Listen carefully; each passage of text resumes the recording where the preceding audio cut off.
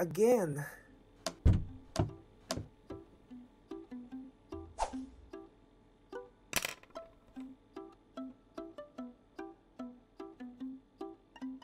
I think that I should take a break and find something to eat.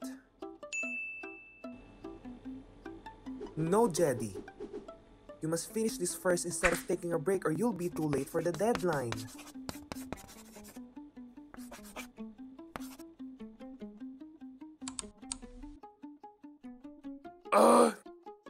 This is really stressing the heck out of me. I can't continue if I am distressed with what I am doing. You know what? I'll eat some kikiams na lang from Kuya Manong outside. That would surely help calm.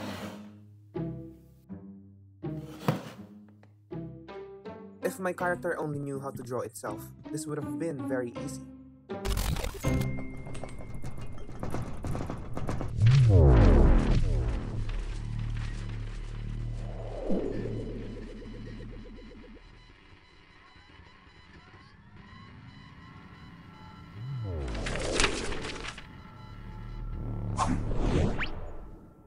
Jedi's been so stressed about drawing me as you can see. He asked us to tomorrow, but he still hasn't finished even a quarter of his project.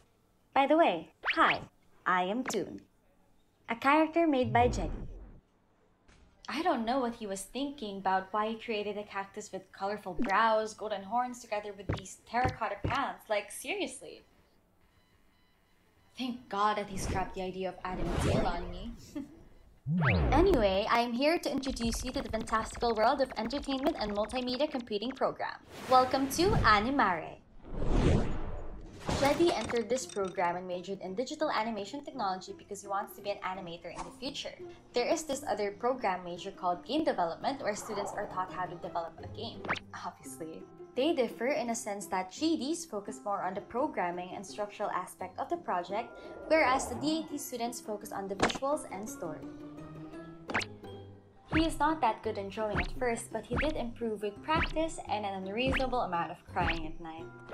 Let's start on this area. Can you see these sketches he had made? Whoa! They often begin on creating ideas for their characters through imaginative sketches. Sketches are rough drawings that are used to assist the artist on how their concepts would look like. They can be lines, random shapes, or even doodles, which are then colored and polished. I know that there are some of you who may have wondered on how artists draw complex arts using a mouse only, right? But most of the time, it is not done by a mouse only. This is what they call a stylus. It is often accompanied by a graphic tablet, which can be just a flat device like this that is connected to a computer where you can draw on it like a trackpad. It can also be equipped with a display where you directly draw on it like a tablet device. Different artists have different ways on how they create animation and art. There are various ways on how you can render an output. For example, artists can make 2D animations like this. Traditionally drawn animations are hand-drawn frames stacked and compiled to emulate movement. This is called pixel animation. Animators use squares that are called pixels with different colors to create the details of an object. It is famously used on gaming consoles and video games in the early days. Stop motion animation uses an actual physical model of a character such as clay that is adjusted and captured on each frame to simulate movement when compiled. Since I showed you these different types of animations, I might as well show you the different art styles that various artists use.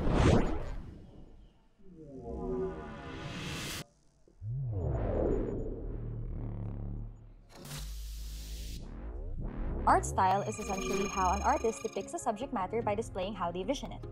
The features that identify the artwork, such as the artist's use of form, color, and composition, determine style. Like these artworks by various BSEMC students from CICT. As you can see, there are a number of art styles in the world. You don't have to be too bothered if your work doesn't look like what your idol or friend creates.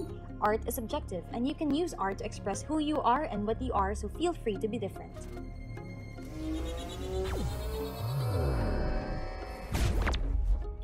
If you're entertained with what I have shown you, there's more for you to see inside my world. So come with me and let me welcome you to Animare.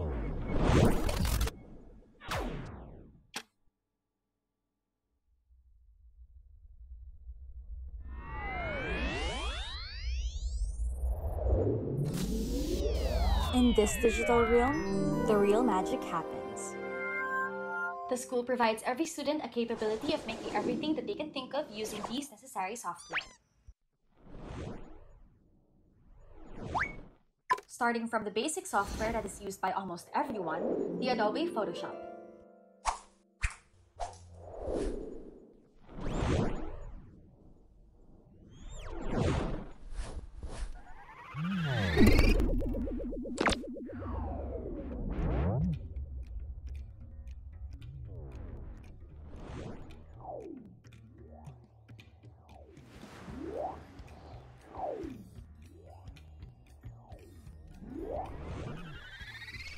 Photoshop provides the user with the power to produce, improve, or otherwise alter photos, artwork, and graphic illustrations with the different tools available in the software.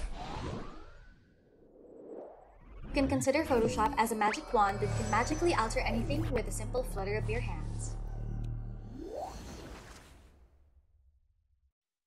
Right now, we're inside the blender. Ah! Get me out of here! I am not talking about this type of blender.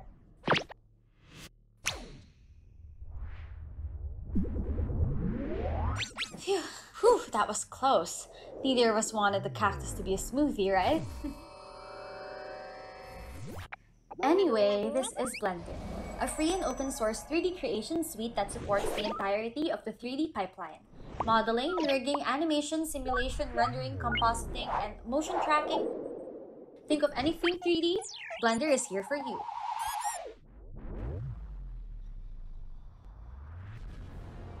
We must be fully geared up when entering this area, and we should be wary of the dragons and odd creatures we may encounter.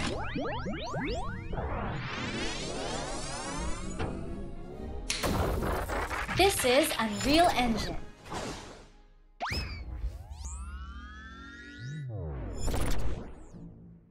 So, Unreal Engine is the world's most open and advanced real-time 3D creation tool for photoreal visuals and immersive experiences. It is a complete suite of creation tools for game development and other real-time applications.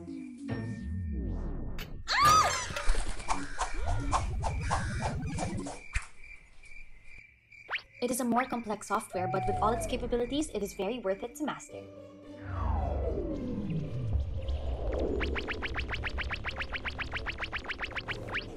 You're thinking, why should you consider the BSEMC as a course for college?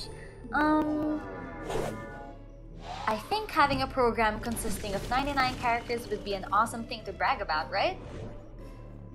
Kidding aside, I think that you should consider this program if you want to pursue the field of digital arts and entertainment.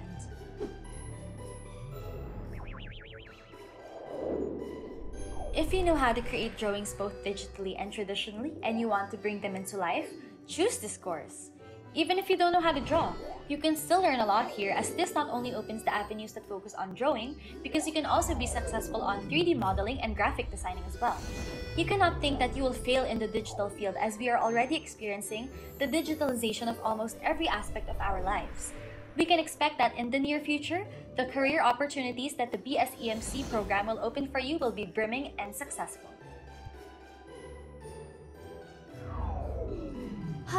What an adventure, right? I am very exhausted with all of what happened. But you know what? Being exhausted is also nice, as it proves the amount of effort that you had exerted to reach this point. Just like Jedi, How he often complains about almost everything on this course but he continues on doing all those tasks and backlogs that he has because he knows that all these stressors are what hones him for the future. But still, I will really appreciate it if he stops whining all the time. It may not look like it, but I do have ears, you know.